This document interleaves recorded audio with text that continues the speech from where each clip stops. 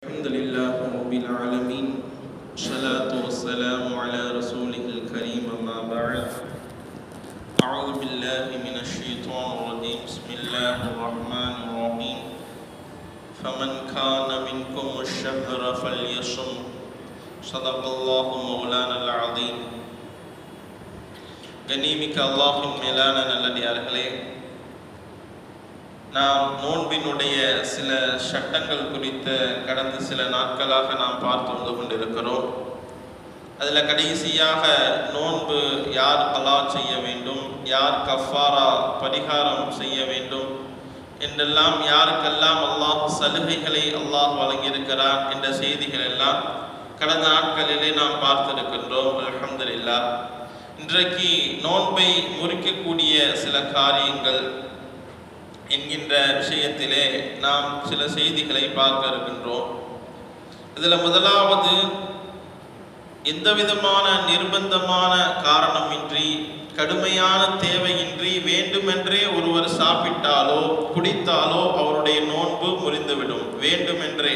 இதில் ஷர்த் என்னவென்று சொன்னால் மறதியாக நாம் ஒரு டம்ளர் தண்ணீர் குடித்து விட்டோம். அப்புறம் டக்குன்னு நோன்பு வச்சிருக்கோம்னு ஞாபகம் வந்துடுச்சு மறதியாக ஏதாவது ஒரு உணவுப் பொருளை டக்குன்னு எடுத்து வாயில வச்சுட்டோம் அப்படின்னு சொன்னா அந்த நேரத்துல நோன்பு என்பது முடியாது. பொதுவான சட்டம் என்ன? ரசூல் சல்லா அலிசல்லாம் என்னுடைய உமத்துக்கு செய்த மிகப்பெரிய அல்லாஹ் செய்த கிருபை மறதியாக செய்த விஷயங்களை அல்லாஹ் மன்னிக்கின்றான். மறதியாக செய்த விஷயங்களுக்கு அல்லாஹின் உம்மத்தின் மீது கருணை காட்டுகின்றான் இரக்கம் புரிகின்றான் என்று ரசூல் சல்லா அலி செல்லம் சொல்லியிருக்கிறார்.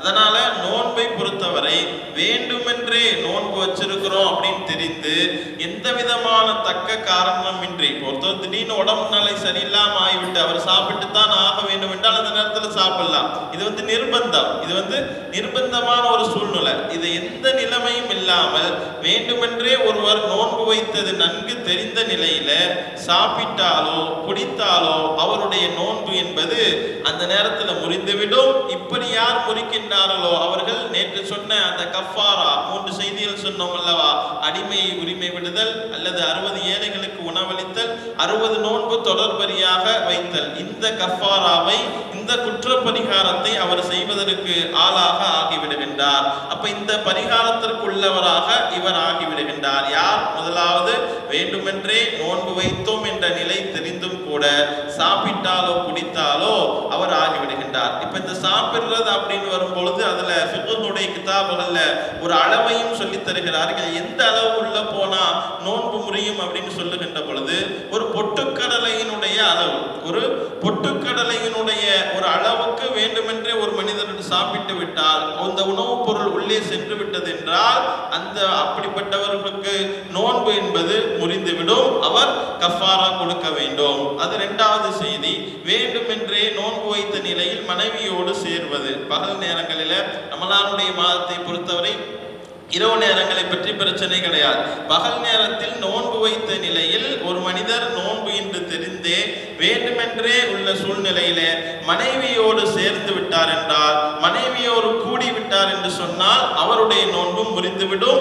அவரும் அந்த அவருடைய நோன்புக்கு கஃபாரா கொடுக்க வேண்டும் பரிகாரம் கொடுக்க வேண்டும். இதுல மனைவியை தொடுதலின் மூலமாகவோ பார்ப்பதின் மூலமாகவோ எல்லாம் நோன்பு முடியாது இன்ன பிற செயல்களின் மூலமாக நோன்பு என்பது முடியாது மனைவியோடு சேர்ந்தால் மனைவியோடு சேர்ந்து விட்டார் என்று சொன்னால் மட்டும்தான் அவருடைய நோன்பு முடியும் அவருடைய நோன்புக்கும் கஃபாரா கொடுக்க வேண்டும் என்பதையும் புரிந்து கொள்ள வேண்டும். அடுத்து மூன்றாவது புகை அதாவது பீடி சிகரெட்டுகளின் மூலமாக தன்னை நம்மளே அந்த புகையிலை வாய்க்குள்ளாக இழுத்துக் கொள்வது. நாம் பீடி சிகரெட்டுகளின் மூலமாக புகையை நம்மாக வாயில இழுத்துக் கொள்வது நோன்பை முறித்துவிடும். இந்த புகை என்பதை பொறுத்தவரை இப்படி நினைச்சிடக்கூடாது. இது புகை தானே ஏதாவது உணவுப் பொருள்கள் போனாதானே நோன்புங்கிறது முடியும். இது புகை தானே இதுல எப்படி நோன்பு முடியும் நினைத்து விடக்கூடாது. இது வந்து எப்படின்னா சாதாரணமாக ஒருத்தர் நம்ம ரோட்டில் போய்கிட்டு இருக்கிறோம். யதார்த்தமாக ஒரு இடத்துல நெருப்பு எரியுது. அந்த நேரத்தில் புகை வருது.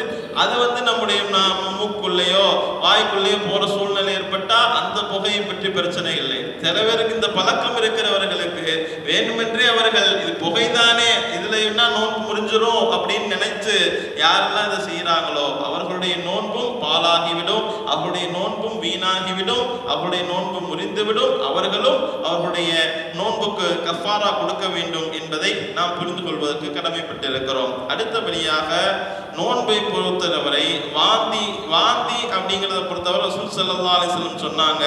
வேண்டுமென்றே ஒரு மனிதர் வாந்தி எடுத்தார் என்று சொன்னால் அவர் அவருடைய நோன்பை பலா செய்ய வேண்டும்.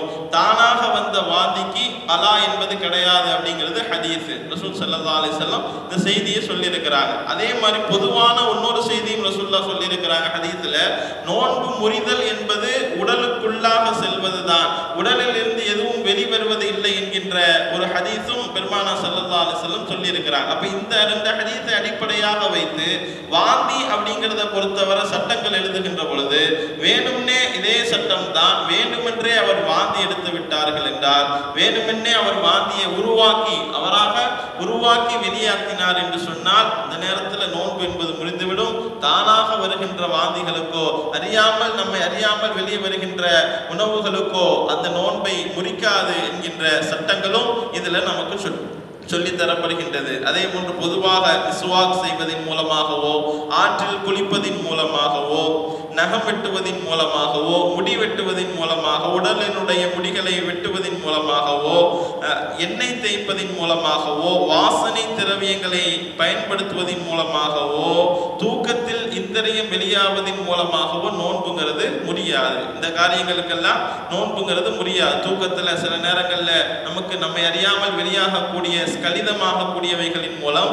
நோன்புங்கிறது முடியாது. ஆனால் அதை வந்து வேண்டுமென்றே செய்தார் என்றால் தானாக அவர்கள் செய்கின்ற பொழுது அந்த நேரத்தில் அவருடைய நோன்பு அது வீணாகிவிடும் அது முறிந்துவிடும் என்பதையும் இந்த நேரத்தில் நாம் தெரிந்து கொள்வதற்கு கடமைப்பட்டு இருக்கிறோம் அதே மாதிரி இதில் இன்னொரு செய்தியும் இருக்கிறது ரத்தம் குடுத்தி ரத்தம் குத்தி எடுத்தல். இது வந்து ஆரம்ப காலங்களிலிருந்து ரசூல் செல்லதாலும் செல்லும் அண்ணவருடைய அண்ணாவுடைய இருந்து இந்த ரத்தம் குடுத்தி எடுக்கிறது. உடம்புல இருந்து ரத்தத்தை எடுக்க அன்னைக்கு உள்ளவங்க இப்போ தலைவலியாக எல்லாம் ஹதீஸ்கள்ல நிறைய செய்தி வருது தலைவலியாக எல்லாம் ரத்தத்தை வெளியெடுத்துவாங்க ரத்தத்தை வெளியாக்கக்கூடிய சூழ்நிலை இருந்தாங்க. அதை அவர்கள் வந்து ஒரு புத்துணர்ச்சியாக அவங்களுக்கு ஒரு ஆற்றல் வரக்கூடியதாக ஒரு ஃப்ரெஷ்ஷாக அதை உணரக்கூடியவர்களாக அவர்கள் இருந்தார்கள் அப்படிங்கிற செய்தி வருது. ரத்தம் குத்தி எடுக்கிறத பொறுத்தவரை ஆரம்பத்தில் ரசூல் ஸல்லல்லாஹு செல்லம் தடுத்திருந்தார்கள். ஆரம்ப காலத்தில் முதல் முதல்ல நோன்புகள் ஆரம்பமாக கடமையாக்கப்பட்ட பொழுது பெருமான ஸல்லல்லாஹு அலைஹி தடுத்தாங்க. ஆனால் அதுக்கு அடுத்த காலகட்டங்களில் ரசூல் ஸல்லல்லாஹு அலைஹி அவர்களும் நோன்பு வைத்த நிலையில ரத்தம் குத்தி எடுத்திருக்கிறார்கள். அனசர் அலி அல்லாஹ் அவர்களிடத்தில் கேட்கப்பட்டது புகாரி ஷெரீஃபிலே பதிவு செய்யப்படுகின்றது. அதாவது ரத்தம் குத்தி எடுத்தால் அவர் நோன்பு வைத்த நிலையில ரத்தம் குத்தி எடுப்பதை நீங்கள் வெறுக்கிறீர்களா? நீங்கள் என்ன கருதுகிறீர்கள்? வெறுக்கிறீர்களா? அது பற்றி என்ன நினைக்கிறீங்க? அப்படின்னு கேட்ட பொழுது நான் அதை வெறுக்கவில்லை. இருந்தாலும் சோர்வு அடைவதை நான் வெறுக்கின்றேன் என்பதாக ஹசரத் அனசர் அலி அல்லாஹ் புகாரி ஷெரீஃபில் பதிவு செய்யப்படுகிறது. அப்போ இதுல என்ன சட்டம் சொல்லித்தராங்கன்னு தராங்கன்னு ரத்தம் குத்தி எடுப்பதனால் ரத்தம் வெளியாக்குவதனால் நோன்பு முடியாது. ஆனால் அதே நேரத்தில் ஒருத்தவருக்கு ரத்தம் நான் வெளியாக்கினேன் ரத்தம் எடுத்தேன்னு சொன்னால் எனக்கு பலகீனம் ஏற்பட்டு விடும் எனக்கு சோர்வு ஏற்பட்டு விடும் என்ற ஒரு சூழ்நிலை அவருக்கு ஏற்பட்டது என்று சொன்னால் அந்த ரத்தம் குத்தி எடுப்பது அவர் இரவு நேரம் வரை நோன்பு திறக்கின்ற நேரம் வரை அவர் தாமதப்படுத்த வேண்டும் என்கின்ற செய்தியை என்ற சட்டத்தை ஃபிக்ஹுடைய கிதாபுகளிலே நமக்கு ஆய்வு செய்து எழுதியிருக்கிறார்கள் என்பதையும் நாம் பார்க்க முடிகின்றது. ஆக இவைகளெல்லாம் நாம் கவனத்தில் கொள்ள வேண்டிய சில முக்கியமான செய்திகள்.